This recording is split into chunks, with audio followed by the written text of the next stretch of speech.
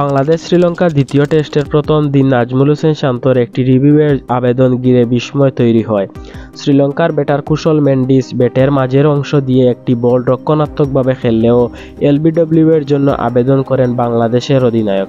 সেই ঘটনাকে তুলে ধরে সচেতনতামূলক পোস্ট করে কলকাতা পুলিশ। কলকাতা পুলিশের পোস্টে দুটি ছবি ব্যবহার করা হয়েছে। প্রথম ছবিতে শান্তকে রিভিউয়ের জন্য আবেদন করতে দেখা যাচ্ছে। তার পাশে লেখা রয়েছে, লুবনীয় লিঙ্কে ক্লিক করার আগে।